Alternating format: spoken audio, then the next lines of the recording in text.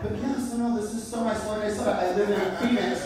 Um, I went to Central High, which is, as you can imagine, right in the center of the town. It was a very tough school. Our mascot was a metal detector. But after I, after I graduated, I actually moved to Los Angeles and lived in Los Angeles for the last 30 years. So I'm, I'm better than you. but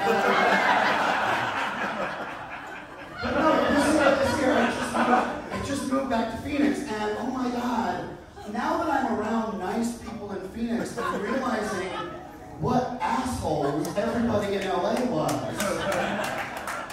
we have any LA assholes in the room?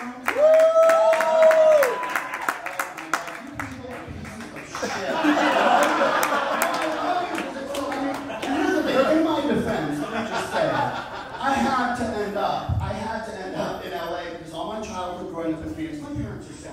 This is a lot to do, and they're so supportive, they're so proud of me. They're not still married, we're not Amish. But